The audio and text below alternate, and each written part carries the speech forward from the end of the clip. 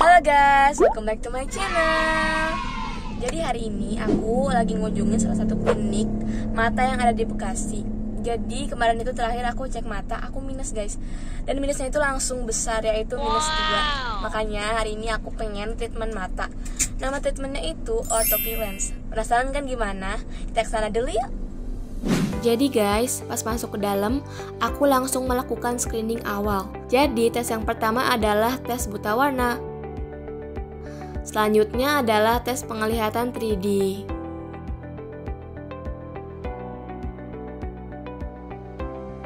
Selanjutnya aku melakukan pemeriksaan kelainan refraksi. Itu maksudnya memeriksa mata kita guys, apakah ada minusnya, plusnya, atau silindernya. Kalau sekarang ini aku lagi melakukan pemeriksaan kornea mata. Karena nggak semua mata cocok dengan orthoke lens ini guys.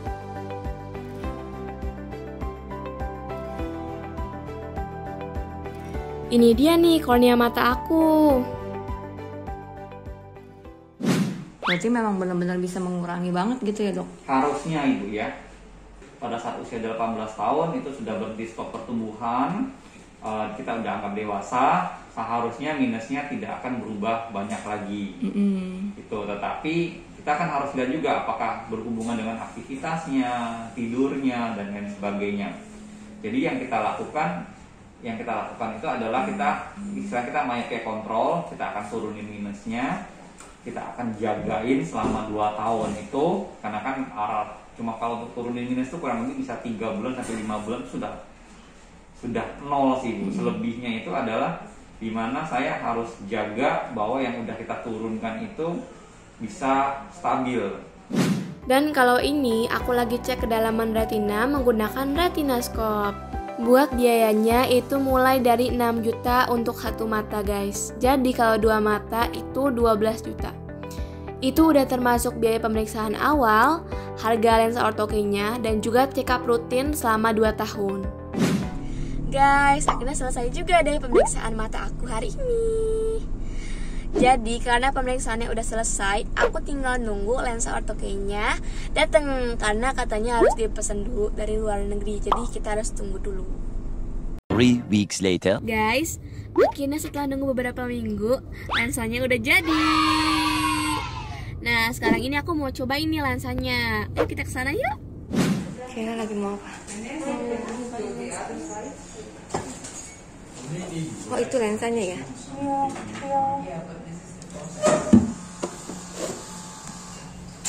Aku tetes mata dulu kan mata yang menengah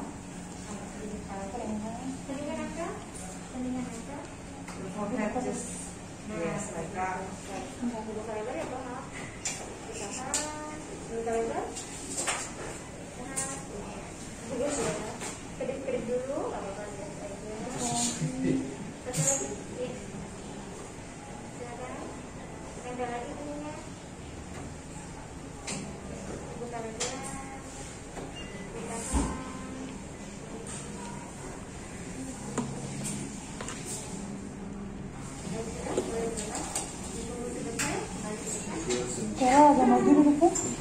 Duduknya maju Kamu ke mata aja ya. Oke, oke, aku pegang matanya Sekarang Pandangannya lurus aja ke depan. Relax Tarik nafas. Ke depan. Tunggu.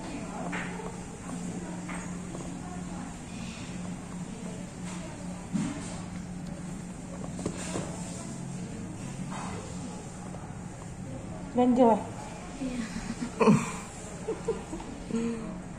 Gak ada warnanya di matanya. Tetap ini. Yang ini apa? Abu-abu nih. Sorry ya. Tarik lagi ke depan. Tarik lagi ke kaca Tarik lagi ke depan. Ke bawah matanya. Ke bawah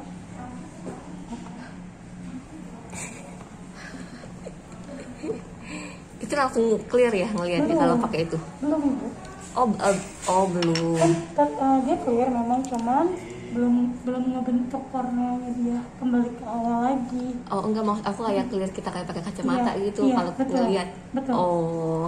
maaf ya karena kan dia sesuai dengan bentuk korneanya lihat ke atas lagi oke sorry aduh ikannya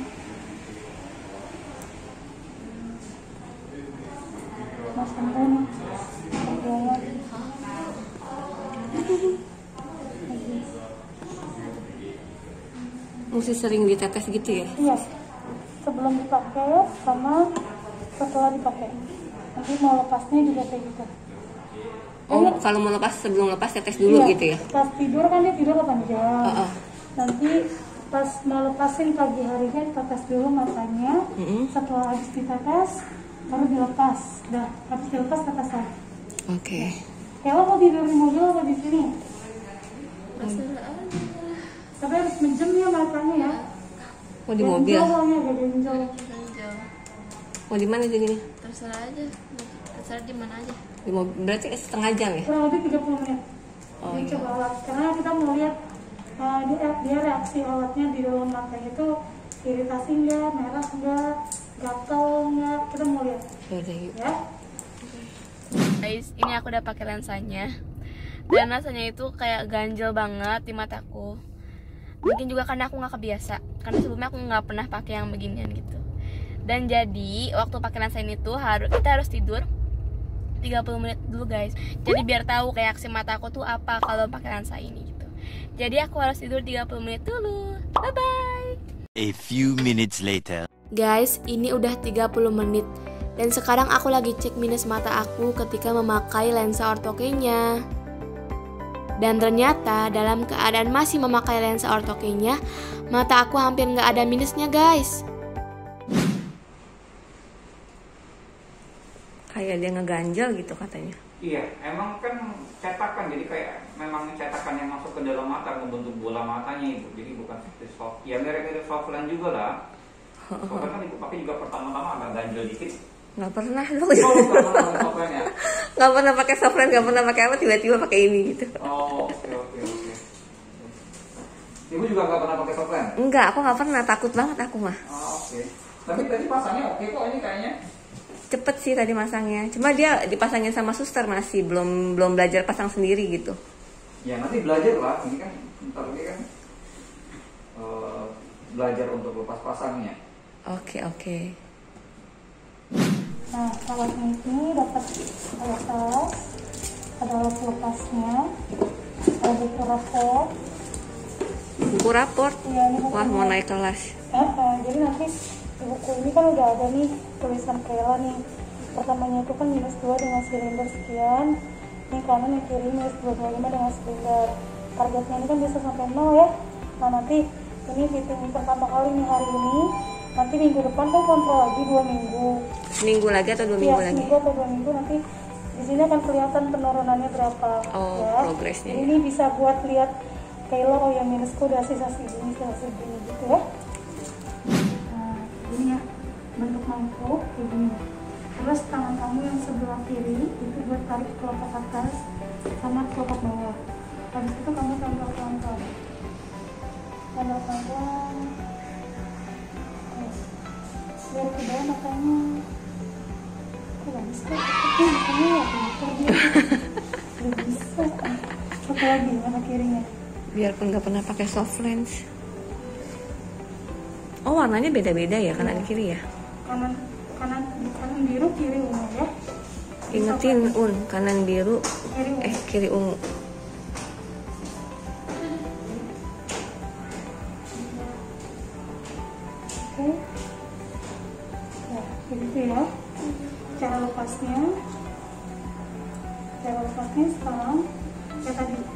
Eh,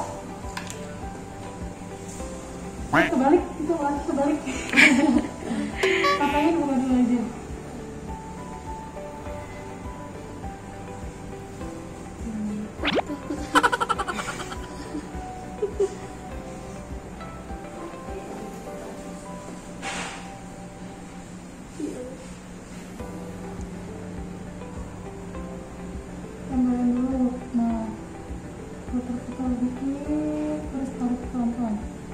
ya Masukin ambilnya kayak tadi pakai telunjuk.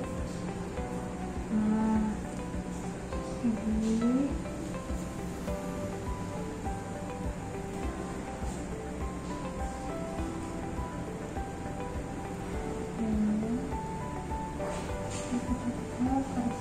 lagi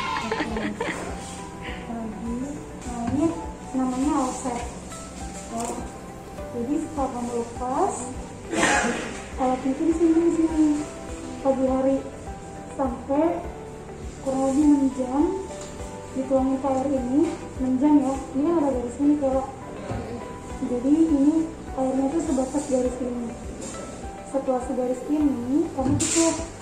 Kamu tutup. Jangan buka-buka kurang lebih 6 jam. Nah setelah 6 jam baru airnya ini steril atau seperti air kontak air kontak lens pada umumnya bukan seperti air lagi jadi air ini tuh nggak boleh masuk langsung ke dalam mata. Ini tetapnya warna merah. Jadi nggak boleh langsung masuk ke dalam mata. Ini bisa menyebabkan mata merah bisa menyebabkan matanya iritasi dan nyaman. Jadi jadi air offline ini nggak boleh langsung masuk ke dalam mata air ini cuma boleh masuk ke dalam tabungnya. Nanti kalau pakai alatnya itu taruh kayak gini coba. Ini ada tulisan ini R itu kanan. L ini kiri. Dibuka gini coba. Coba bisa ya kanan taruh. Taruh. Posisinya ke belakang. Posisinya oke. Kirinya dibuka lagi.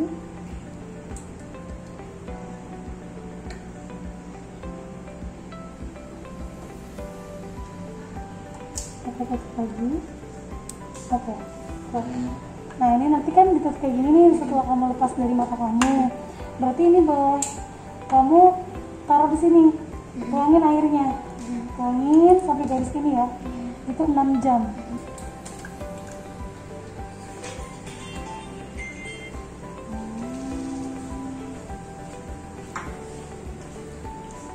Nah, sampai lepas garis sini ya. Terus kamu tutup ya. Kamu tutup. Ini jangan dibuka selama 6 jam. Kan ini, ini kayak mesin cuci lah istilahnya dia ngebersihin alatnya. Air kalau udah 6 jam lebih ini airnya itu jangan dibuang. Kamu tuangin kan kamu pakai nih nanti malam. Airnya tuang ke sini. Airnya tuang ke sini alatnya dibuka baru pasang ke mata. Ya. Terus eh, kalau misalnya alatnya ini jatuh ambil jangan dibilas pakai air yang ini. Jangan ya ini perih. Bilasnya pakai air yang masih ada di dalam tabung ini. Ya air yang ini air yang ada di sini setiap hari diganti Selesai deh guys buat video kali ini. Semoga bermanfaat dan kalian suka ya. Jangan lupa like, komen, share, dan subscribe YouTube channel aku ya. Sampai jumpa di video berikutnya. Bye bye.